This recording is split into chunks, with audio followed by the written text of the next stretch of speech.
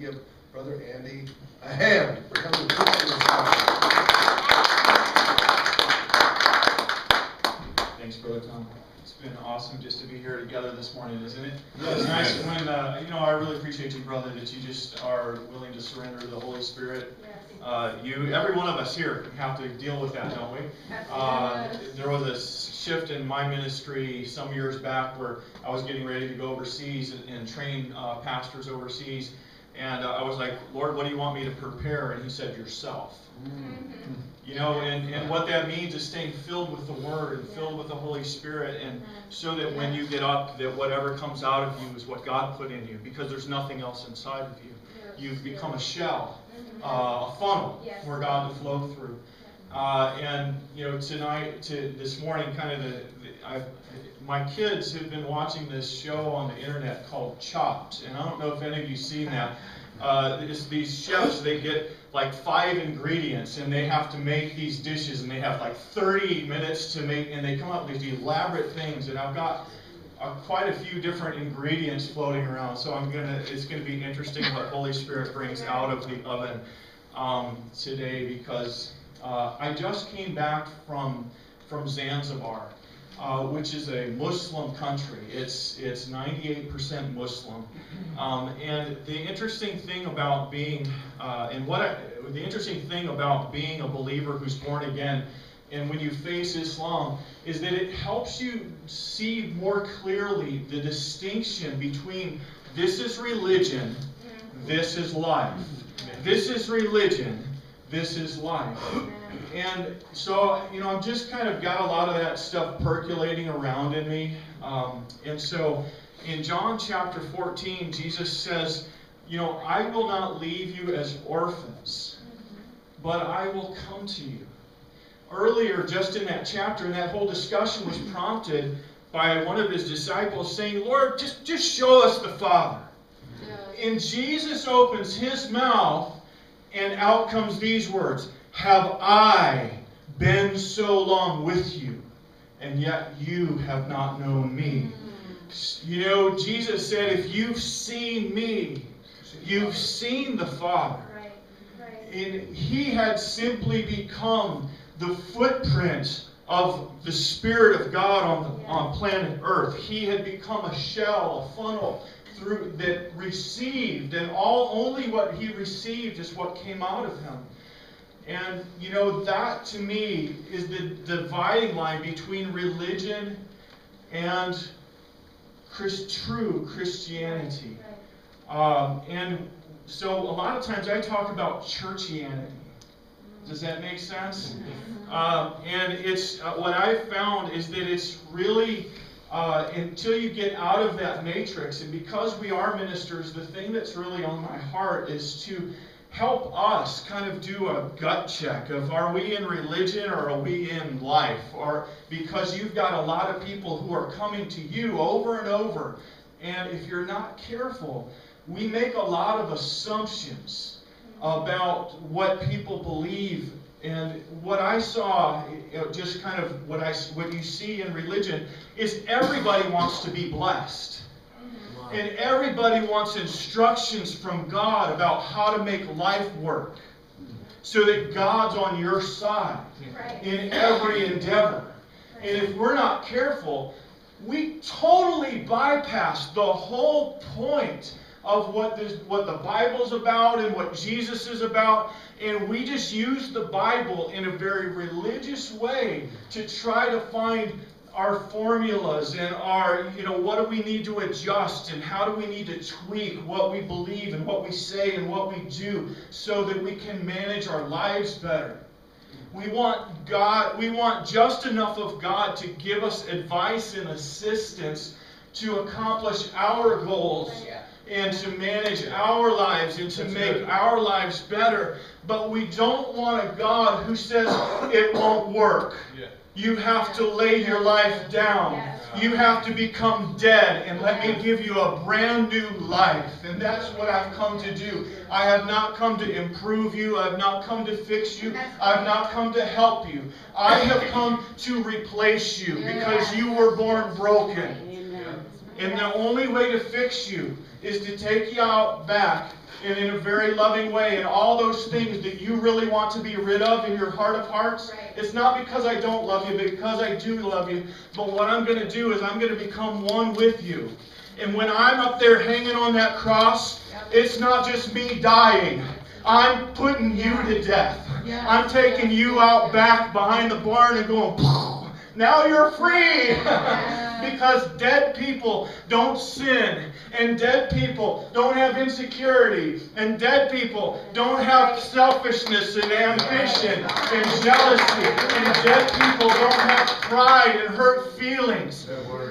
And so, when we learn to say, Yes, God, that's what I need, I need to be absolutely dead to myself as being something independent from you, that I'm looking to you simply for advice and blessing and, and, and those kind of things. Good. We need a new life. Yes, that's right. We need a new relationship. Yeah. Good. And I remember the day that God revealed to me that, Andy, your Christian life, he said this in a very loving way. He said, Andy, your Christian life sucks. but my son's life is beautiful. So you can try to use my son to try to build your Christian life, or here's my proposal we just set your Christian life aside. Right. And you learn to let my son be your life. Let him live his life in you and through you. And I remember, you know, think it, it hit me like a ton of bricks because what God spoke to me out of that, it's in the scriptures, that the gospel is this. You know, orphans are used to looking at other people and what they've got and feeling like that's for them, but it's not for me, don't we? And so I go around the United States and around the world equipping believers and helping pastors to help mobilize everybody to walk in the fullness of Jesus Christ. You know, part of what he said is, whoever believes in me, the works that I do, he will do also. And we agree with that, and we think that's faith. But how many of us are actually doing the works of Jesus? And so that's faith. Faith isn't what you agree with, faith is what you live by. Yeah. Right? The just will live by faith. Mm. It's not just you write it down and say, yeah, that's what I agree with. It's, oh, so, so a lot of times we, we let the, the book knowledge of what we agree with get in the way and deceive ourselves that that's what living faith is. And then you end up with other people that feel completely beat down. Yeah, I know it's for me, but I don't see it. And they're like, something's wrong with me. And they're just me, me, me, me, me. On the flip side of it, right? And then sometimes you end up, as ministers, we pound our people with this is what should be happening, this is what should be happening. Because deep down inside, we believe it. It should be happening. But preaching what should be happening is not fixing things. That's right. It can just pile the condemnation right. on top of people. So now you got a bunch of people who believe this should be happening, and we're something's wrong with us. And so we're taking what's not happening and making that our identity. Mhm. We're living as orphans on the inside. Yeah. Wow. Wow. That's good. You know, and Jesus said the only solution to not being an orphan on the inside is to have a dynamic, living, internal relationship with the Holy Spirit. Mm-hmm. You, your Christian, your relationship with God is no more real than your relationship with Holy Spirit. That's right. If your relationship with God is simply, I'm on the outside and God's up there, and you don't realize that God has moved inside of you, and you are learning that the life of Christ in you is the, your life, and you have now become a container, a host of a different life form. You've become a partaker of the divine nature. Yeah. And that God has said to you, I give you the relationship that my son has with me. Yeah. As your relationship. This is a gift for you to enjoy.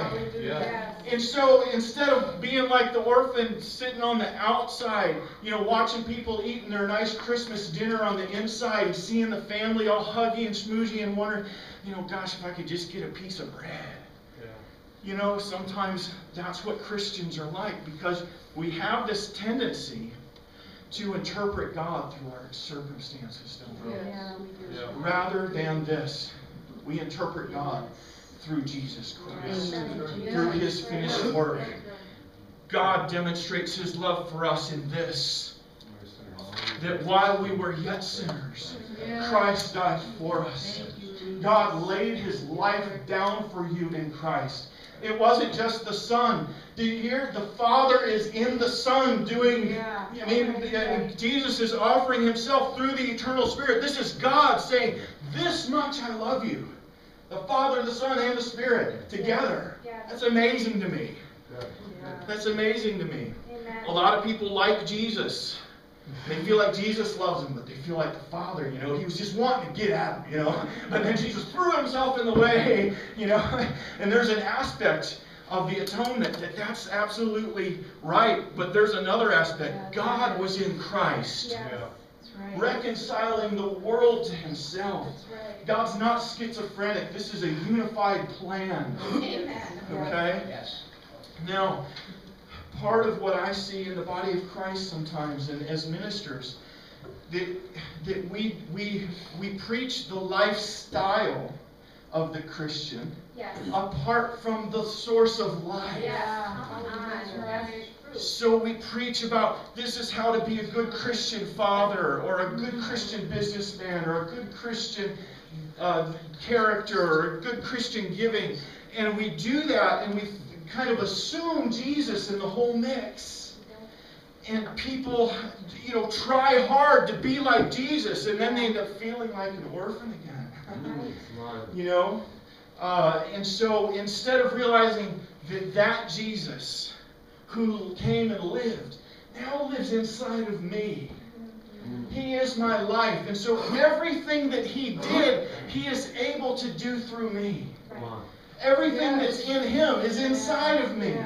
So God's not asking for anything out of me except what He's already put inside of me. Right. Just believe it. And so, you know, getting back to that, the you know, some of the things that were said, some of the reasons we're dry sponges, you know. We tell people, you- you know, the, the dry sponge illustration.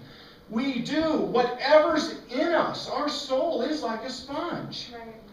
And we can't give out what we haven't already absorbed. Mm-hmm. But we're always absorbing something. Yeah. And th- that's the thing is that we have got to get over to. We have got to get back to teaching and bringing people into a lifestyle of dynamic interaction with the Holy Spirit of God in Christ. That it's got to be a 24 7, not just you encounter God in prayer and now you shut your, your prayer closet and you walk out and go do life on your own resources Right. Right. but that our we our life has become uh, a an opportunity through which Christ lives through us as us. In 1 John chapter 4 somewhere. it says, I got it in the chapter at least, all right? that, that he died so that we might live through him. Right. Right. God doesn't just Absolutely. and here's the thing that helps me. We have this tendency to conceive of ourselves as independent persons. I'm, a, I'm an independent person from Tom, etc. But part of that is because of the brain damage that came in the, through the fall. God conceives of himself as Father, shares his life completely with the Son on the inside. The Son receives life from the Father on the inside and then manifests that forth as His image. Yes. And then with that life that He's contained from the Father, He receives all the Father is and pours that back into the Father. Does nothing for Himself, everything for the Father. And the Spirit of God is that way in which Right. that they commune back and forth. Yes. The Spirit does nothing from Himself or for Himself, but everything from the Father through the Son, back and forth. And this was what we were created to bear that image, to contain that image. That we were created as physical beings, That's what's in us. Hallelujah. right? so that the living God could live inside of us and manifest what He's Yes. like and make Himself visible on planet Earth. Yes. We, as how? As we know Him as our life, Right, right. that we were, we were predestined from before the foundations of the world to be welcomed into the fellowship of the Godhead. How? As sons Right. in Christ. Right. To, to have the relationship that the Son has with the Father. As our relationship with the Father. This isn't something we earn. It's not something we make happen. It's something that you just get by being born. Some people are just born into a life of just, you got extraordinary opportunity and resource. When you were born again, Yes. baby! Man, you got so much. You got so much. You became an heir of God with in Christ. You receive the divine nature of God. You receive the spirit of truth. You can't be cursed anymore because Christ became a curse for you. You are blessed with every spiritual blessing in the heavenly realms. And we got so many Christians running around trying to figure out how to get blessed. Just what we ought to be doing is proclaiming, this is what you are. Get rid of the orphan mindset. Because when orphans get religious, they do it out of a spirit of slavery, a spirit of fear. Paul said, We have not received a spirit of fear again, leading to slavery, right? Right, right. What does a slave do? A slave's like, you know what? The only reason, the only thing that God really wants out of me is the work he can get out of me. That's why I get to stay in the house, because I do everything that God wants, right? I get to stay in. And the only reason I work is because I'm afraid if I stop doing the works, that I'm going to be kicked out on my ear, right? That's why slaves get to be in the house. But you know what? When the prodigal came running home, the father went running to the prodigal, Yeah. put on the best robe, and said, This is my beloved son. Right. Right? Broke all shame off of him, wouldn't allow anybody to say anything bad about him, gave him the ring of authority, that's the father's credit card, put new shoes on him, the bread, best robe, had a feast and celebrated over the son. Amen. Amen? He didn't say, hey, my son's home so we can get the barn built. Right. Do you understand? And so often we are we are trying to work people into their identity. And we need to establish identity because when a son realizes that he's a son, now he sees I'm an owner of everything. Right. Now I walk in Right. dominion. This is my home. This is my business. And I'm not a slave. Come on.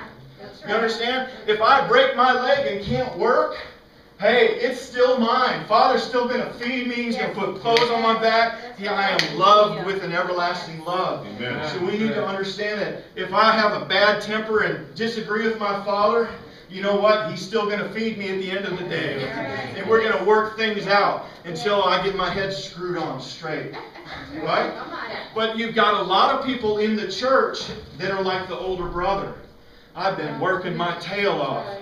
And how is it that these new people are walking in signs and wonders and miracles and winning people to Christ and acting like they're having so much fun? And, you know, all I get is the gift of helps. Come on. Good word. Come on. You know, or all I got is the gift of teaching. Come on. I want to be able to do the miracles. Well, the Father says to the older brothers, Everything I have belongs to you. Yes. Yeah. Somebody taught you that this was your gift, and you're, you need to learn your gift because that's you're stuck with it.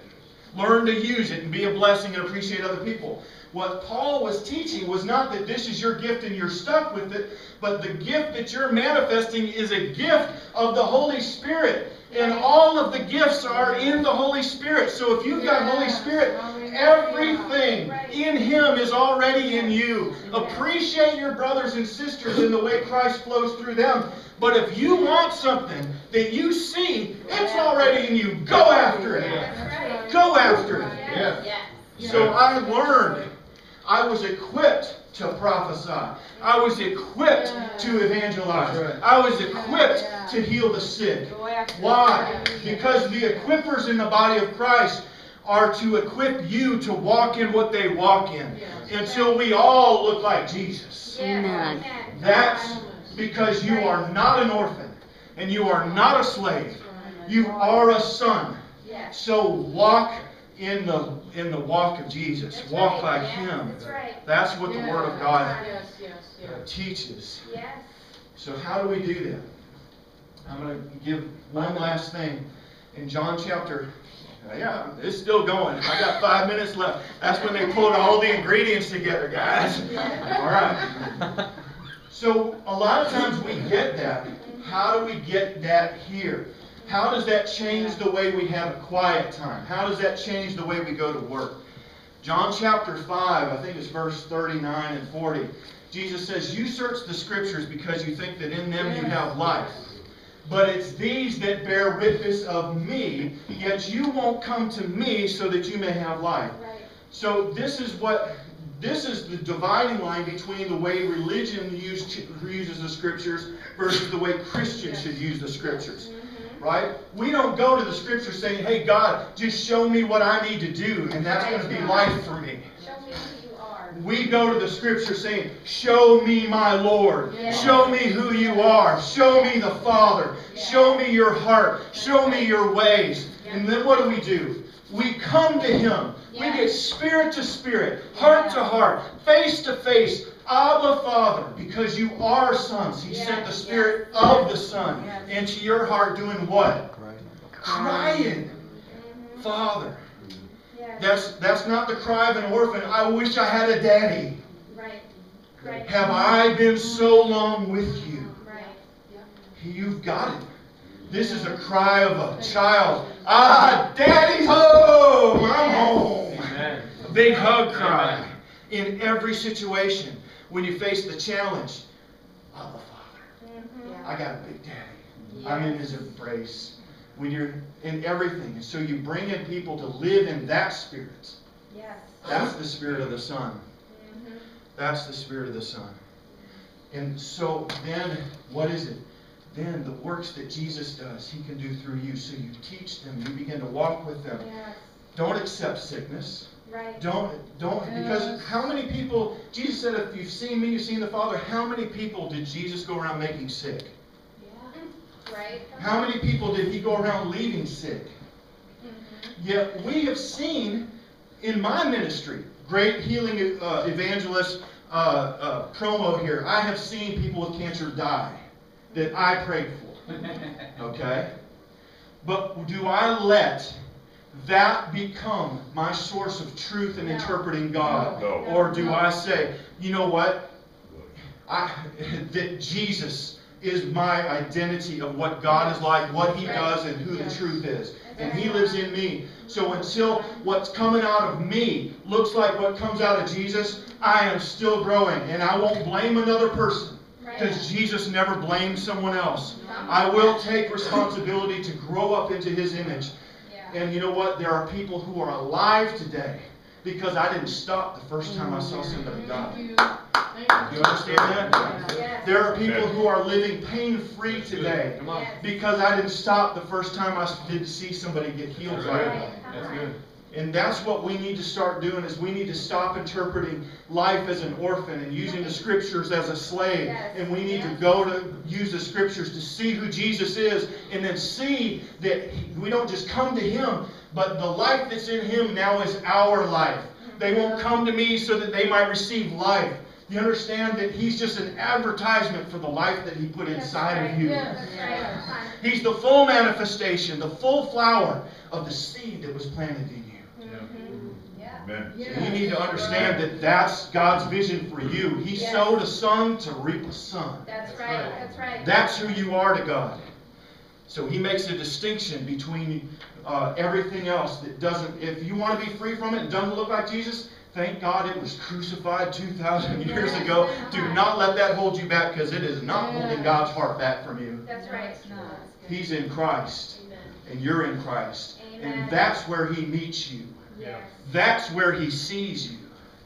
And that's why we can be loved and love others Yeah. and pour out power and grace. on, That's right. So I'm finished now. We're about to go to lunch. I just want to let anybody know, we're not going to be able to stay for the after the lunch section. But while we're here, I will uh, be happy to minister to anybody who needs physical healing in their body. Um, and I'll say in the sanctuary, I guess, as everybody goes to get meals. And then if, um, once we're done praying for folks, we're gonna, uh, take off. We do have contact information, a little lavender brochure on that little small back table there. Um, if there's ever any, anything that I can do for any of you, we go to small groups, conferences, churches, those kind of things. Uh, our motto is have Jesus, will travel. And, uh, and our desire really is to have a relationship, not just be a once and done sort of thing. Right, We like to help be an outside resource for churches and, uh, we like to build a relationship that we can come back and, and those kind of things. So we'd love to get to know you a little bit more. And Tom knows me well, so feel free to ask Tom all the, all the goods on.